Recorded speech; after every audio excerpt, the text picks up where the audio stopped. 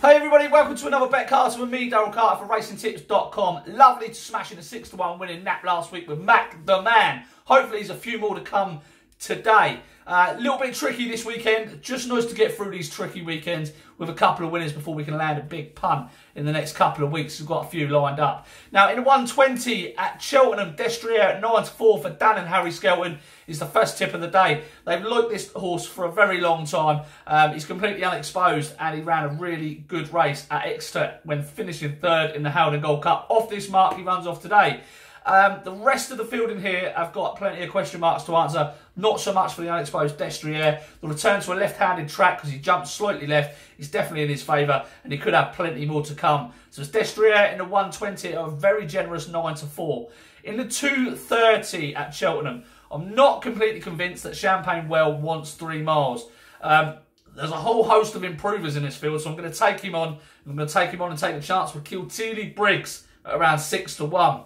Now, Kilteely Briggs found a really easy opportunity last time of winning by 34 lengths uh, to get off the mark.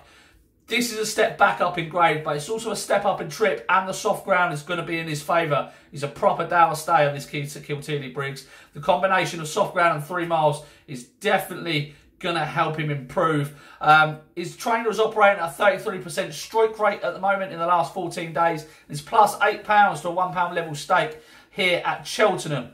So, bit of a chance in the 230, but Kilteely Briggs 6 to 1. Now, the nap of the day, you can call me crazy, but it comes in the 305 in the international hurdle, and it's Call Me Lord. Uh, who's around 7 to 2 or 3 to 1 chance in places. Um, and we all know his publicised issues about not being able to go left handed.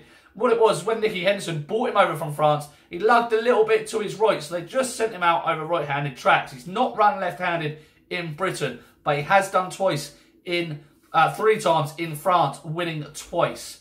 So you can take a little bit of comfort for that. This horse is a standout for me today. The likes of Elixir De Nutz is going to need to improve on the form that he showed last year, including when beating Grand Sancy in the Tolworth Hurdle on soft ground. Grand Sancy's never run a good race on soft ground, but beaten out of sight every single time uh, and got close to Elixir De Nutz. Now, that rival is coming back off a very long break and off an injury. So he's going to have competition for the lead as well. So I just think it's worth taking on. Pentland Hills needs to improve um, or to, to prove that a step out, a step into open company is going to suit him down to the ground. It doesn't always work. The former Aintree with Fakir D'oudairies is behind. He can pick that to pieces. Uh, Fakir D'oudairies is improved for a fence, and the rest were well beaten off marks of 140, 141, and 133.